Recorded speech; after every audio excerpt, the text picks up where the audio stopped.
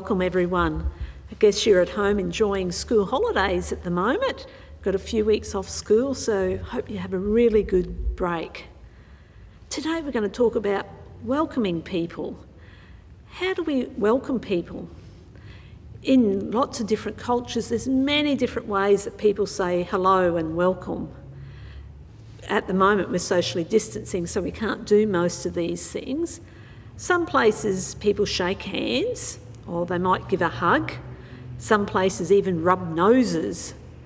Some of them take a bow and say hello. If you're in Hawaii, they might welcome you by putting a lei around your neck. And that sure would make you feel pretty special getting something like that put on you. We welcome people at church. We have people called welcomers who stand out in the foyer and say hello as everyone comes in. And then they also um, help if there's someone new or someone who needs a hand, they help them. You'll have to look out for them next time when you can come to church. What if you had someone coming to your house, if someone was coming to stay? How would you make them feel welcome? You might race around and do some housework and make sure everything's clean. If they're going to stay the night, maybe you would find, work out what bed they're going to sleep in, make sure you put clean sheets on the bed, might even put a towel on the bed. I had an attempt at making a, a towel animal. Can you see what sort of animal this might be? It didn't turn out very well, but this is supposed to be a, a swan. So you, you might like to have a go at that. If sometimes if you go on a cruise ship, you get towel animals um, left on your bed with your towels. So that, that was my little funny attempt. I also attempted uh, a snake, which I think he goes like that. So, so yeah, mine, mine didn't turn out. But if you want to have a go on the internet, there's lots of, lots of ideas of how you can make your own towel animal. Another way I know to welcome people when you, someone comes to your house, you would offer them drink. Would you like something to drink? And here we'll, we'll have some afternoon tea or a meal together.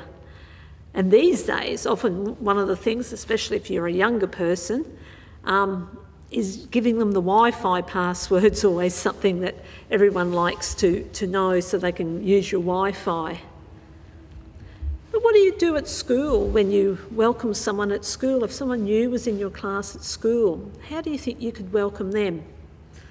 Maybe you'd invite them to have lunch with you, sit with you and your group of friends, and maybe then even go off and play together.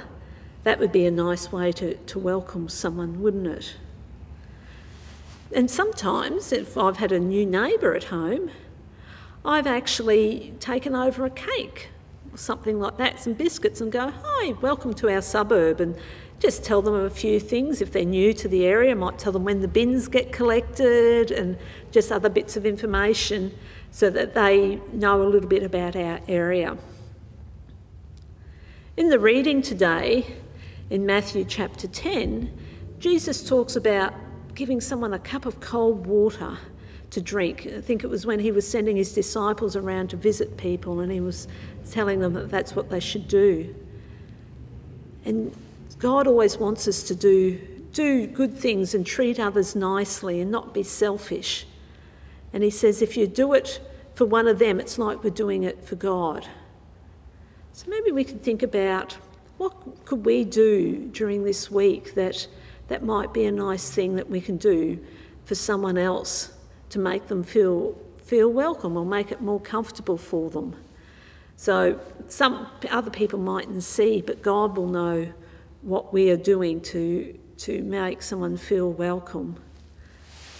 So you like, might like to think about if there's any other things you and your family could do. It could be something, having something, someone over for a meal, or if you've got a new kid when you go back to school after the holidays in your class, how you could help them feel welcome.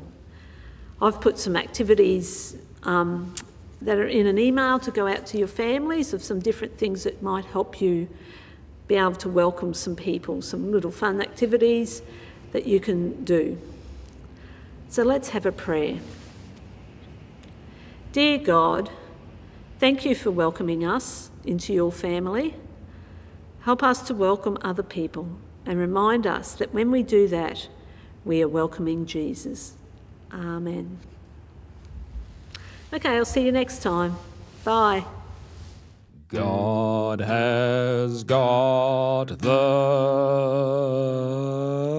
whole world in his hands. He's got the whole world in his hands. He's got the whole world in his hands. He's got the whole world in his hands. He's got Cairns and Brizzy in his hands. He's got Keith and Whyalla. In his hands, he's got Darwin and Katherine. In his hands, he's got Australia. In his hands, he's got the duck billed platypus. In his hands, he's got the furry koala.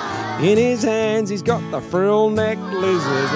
In his hands, he's got Australia. In his hands, he's got Sydney and Melbourne.